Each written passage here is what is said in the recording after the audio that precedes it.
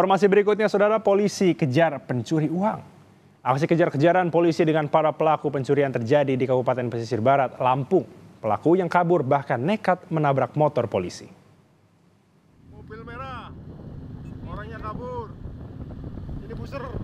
Bak adegan di film action, polisi ini mengejar mobil yang dikendarai oleh komplotan pencuri uang dari sebuah agen bank. Mobil pelaku ini sempat terhenti karena sebuah truk menghalangi lajunya. Namun bukannya menyerahkan diri, saat hendak ditangkap pelaku justru tancap gas hingga menabrak sepeda motor polisi yang mengejarnya. Pelaku kembali melarikan diri dan meninggalkan kendaraannya ke kawasan Taman Nasional Bukit Barisan Selatan.